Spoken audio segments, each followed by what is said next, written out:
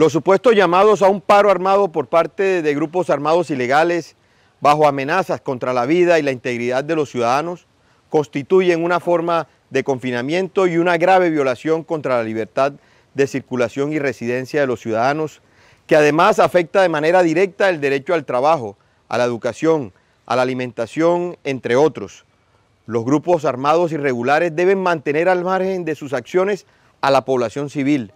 Por eso, desde la Defensoría del Pueblo rechazamos de forma contundente este tipo de amenazas, que además se dan en el marco de un proceso preelectoral y que por lo tanto tiende a afectar el ejercicio del derecho democrático a elegir y ser elegidos.